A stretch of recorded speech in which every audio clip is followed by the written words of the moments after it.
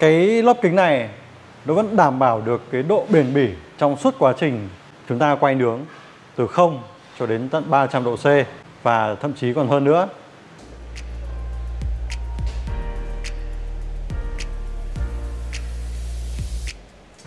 Xin chào mừng tất cả các bạn đã quay trở lại với Máy Thái Long.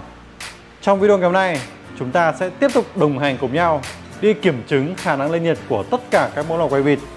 Và nhân vật chính của chúng ta ngày hôm nay, đó chính là chiếc lò cái vịt kính xoay 680 này. Và bây giờ chúng ta sẽ bắt đầu với việc đi nhóm than bằng cái khổ ga này nhé.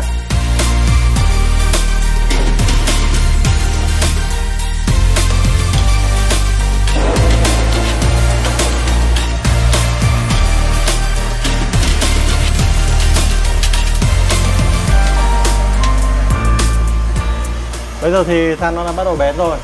Giờ thì tôi sẽ tắt cái khò ga này đi. Và dùng cái quạt khò này Thóc xuống à, dưới cửa gió Để cho than nó nhanh hồng nhé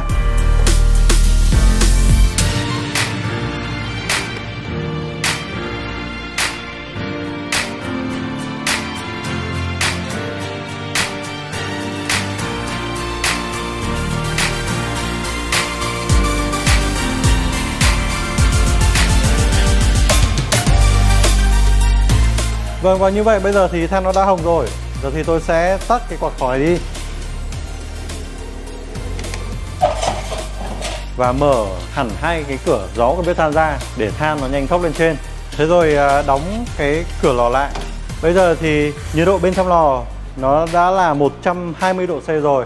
Chúng ta sẽ bắt đầu chờ đợi xem là sau bao lâu thì nó sẽ lên được cái mức nhiệt độ khoảng 180 đến 200 độ C. Tức là cái mức nhiệt mà ta có thể quay nướng được rất nhiều các cái thực phẩm như là gà, vịt, chân giò vân vân. Chúng ta hãy cùng chờ đợi xem nhé. Vâng, như vậy là chỉ sau khoảng 3 phút thôi là nhiệt độ bây giờ nó lên tới gần 220 độ C rồi. Thế mà như tôi để ý thấy thì toàn bộ cái phần kính quanh lò vẫn không hề xảy ra cái hiện tượng nứt vỡ một chút nào cả. Và lúc này thì cái lớp vỏ ở bên ngoài này thì tôi mới chỉ cảm giác nó hơi nóng nóng một chút thôi. Trong video này thì tôi đang sử dụng một chiếc lò mới cứng. Cho nên bao giờ lần đầu sử dụng nó cũng sẽ có các cái lớp keo hay là xốp bảo vệ còn sót lại. Khi gặp nhiệt độ cao, sẽ tạo ra một chút khói. Cho nên như các bạn thấy là cái lớp kính này nó mới hơi mờ mờ một chút như vậy. Thêm nữa là ở đây, tôi không đổ nước vào bên trong bằng dầu. Còn thông thường thì khi mà chúng ta quay nướng hơi nước từ bóng dầu khi bốc lên, nó sẽ tự làm tan các cái lớp khói bám trên kính. Và lúc này thì để mà hạ bớt cái nhiệt độ này xuống, để đảm bảo ở cái mức nhiệt độ cần thiết để quay nướng. Ví dụ như là với gà vịt thì ta cần quay ở 180 đến 200 độ C chẳng hạn. Đó là ta có thể đóng bớt hai cái cửa gió của bếp than lại, hoặc là ta cũng có thể kiếm một cái tấm kim loại đậy cái miệng bếp than ở bên trong để giảm nhiệt hoặc là ta muốn tắt bếp khi quay xong khi mà nhiệt độ nó đạt đến cái mức đảm bảo rồi, thì ta sẽ lại đóng cửa lại để tiếp tục duy trì nhiệt độ. Vâng như vậy là chỉ sau khoảng 5 phút thì nhiệt độ của nó đã đạt từ 220 lên đến mốc 300 độ C rồi. Và như các bạn có thể thấy là cái lớp kính của nó hoàn toàn không hề có một chút hiện tượng nứt vỡ gì xảy ra cả. Một điều nữa, đó là cái bóng đèn ở bên trong nó vẫn hoạt động bình thường ở cái mức nhiệt độ cao như thế này. Và ở cái mức 300 độ C này, ta hoàn toàn có thể quay nướng các cái món nổ bì rất đơn giản và dễ dàng. Còn nếu như các bạn muốn nhiệt độ nó đạt cái mốc 300 này nhanh hơn nữa, thì các bạn có thể dùng quạt khò để thốc vào bên trong cửa gió của bếp than. Thì nhiệt độ nó sẽ tăng nhanh hơn.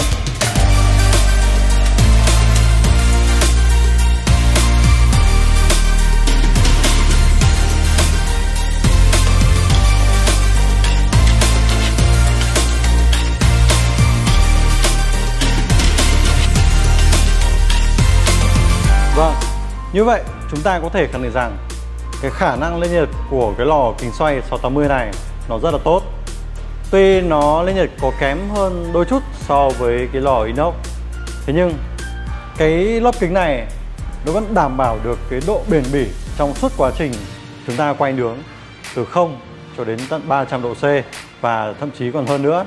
Ngoài ra thì tuy là kính, thế nhưng mà nó có một cái khả năng cách nhiệt rất là cao cho nên là ở cái mức mà 200 độ C thì tôi mới chỉ cảm giác nó hơi nóng nóng một chút thôi.